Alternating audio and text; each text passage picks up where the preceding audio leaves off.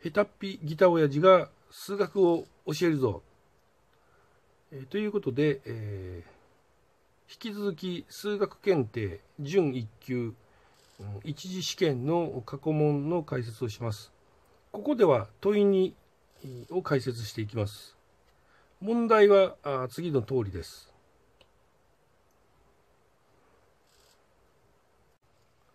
はい。それでは解説に移ります。えー、でまずですねこの手の問題っていうのはあ結構頻度高く出題されてる傾向にあると思われますので、まあ、必ず解けるようにしておいた方がいいと思われます。で解放のポイントを説明します。ここに書いてますけども、えー、このこの式はですね、えー、たまたまあの指数関数になっております。で、これを直接解くとですね、解きにくいので、えー、まあ、できるだけちょっと式変形を、していくことで、単純な文字にまずは置き換えましょうということなんです。で、その置き換えることで、えー、二次不等式、またはま方程式にしていきましょうということなんです。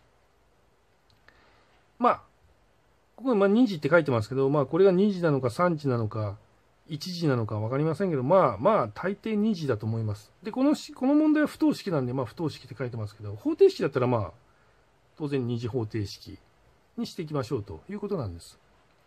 で、まずここをやってみます。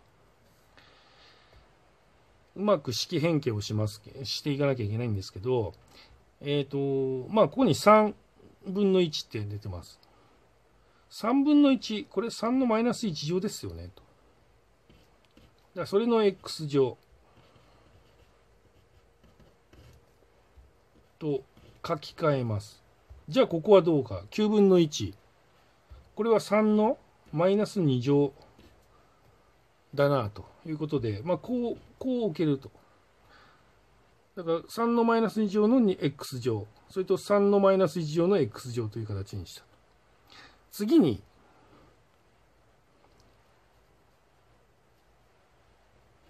ここをですね、3のマイナス x 乗に変える。3のマイナス x 乗の1乗。でも、1乗としても上と下同じですよね。まあ、これ位置は書きませんけど、こう書き換える。これも3のマイナス x 乗の2乗というふうに書き換える。これとこれ一緒ですよね。そうするとここに3のマイナス x 乗共通のものが出てきました。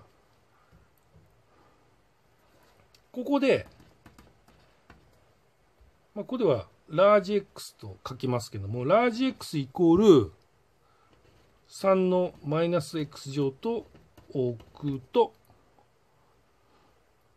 この3のマイナス x 乗のところに、この3のマイナス x 乗のところにラージ x を代入していく。そうすると、こんな単純な式になることが分かります。これが二次不等式です。ここに書いてある二次不等式です。これを作りましょうということなんです。これは、これだったら解いていきやすいですよね。解いていきやすいですよね。だからまずはここを作るのがポイントになってきます。そして次に考えるべきことは、この、ここに書いてる内容なんですけど、見落とさないでくださいねっていうことを書いてます。文字を、あえっと、式をですね、置き換えた。置き換えた文字にですね、制約条件が生じる可能性が高いんです。制約条件って言ってるのは、どういうことかっていうと今この問題ではスモール x は全ての実数が対象になってるんですけどじゃあラージ x も全ての x が対象になるかどうかっていうことを確認しとかなきゃいけない。で大概は全ての、えー、ごめんなさい同じにはならないということです。必ず必ずと言っていいほど制約上限が出ると。でそれを導く上では、ここに書いてあるように、グラフの外形で考えると分かりやすいと思われます。これを一旦グラフにしてみます。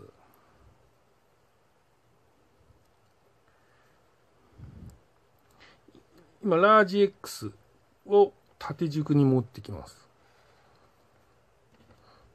まあ、よく y イコール何とかっていうと、縦軸は y 軸、横軸 x 軸ですという、まあ、こんな、あって、えー、っと、ここに原点が来ます。で、こんなグラフになります。x が大きくなればなるほど、このグラフは0に近づいていく。これが、ラージ x イコール3のマイナス x 乗。これがこのグラフになります。でちなみにここの交点、x、ラージ x 軸との交点は1になります。これはスモール x が0の時に3の0乗になって、3の0乗は1なので、ここが1になると。で、これを見ると、スモール x は全ての実数の範囲なんですが、ラージ x の範囲はど、どこかって言ったら、この x 軸よりも上なんですよね。下に来ることはないんです。っていうことがわかります。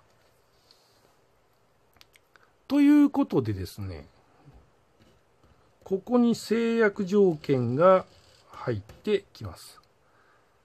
正です。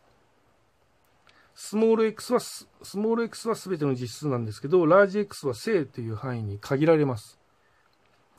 でこれを落とさないことです。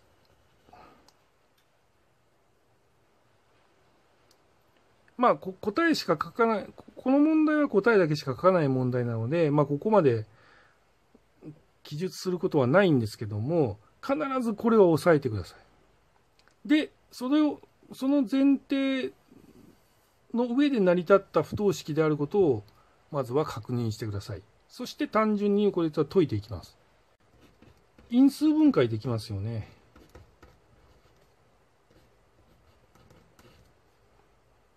そうすると、これでは、これでラージ X の範囲が1以上、9以下という答えが出てきました。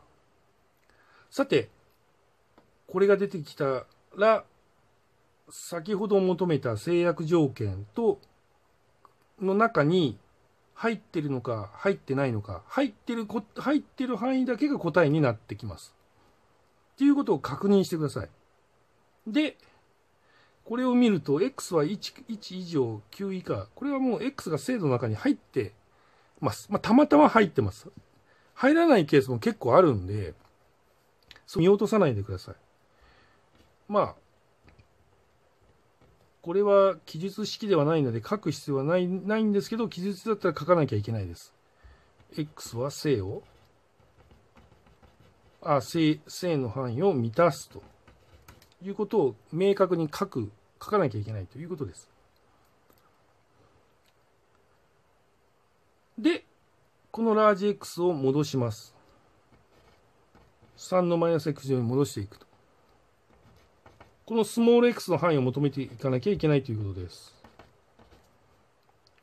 これだと解きづらいんですね。まあ、ここ、ちょうど1は3の0乗だよね。3のマイナス x 乗。で、9は3の2乗です。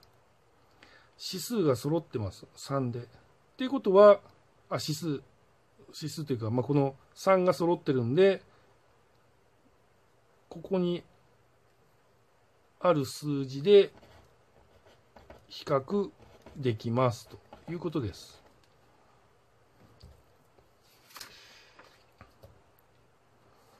まあ、マイナス x の範囲が0以上2以下。ってことは、最終的にはスモール x、あのマイナスを外さなきゃいけないので、えー、マイマイナスにするとこれ左右逆転してマイナスがついてきますということです。これが答えです。えー、以上です。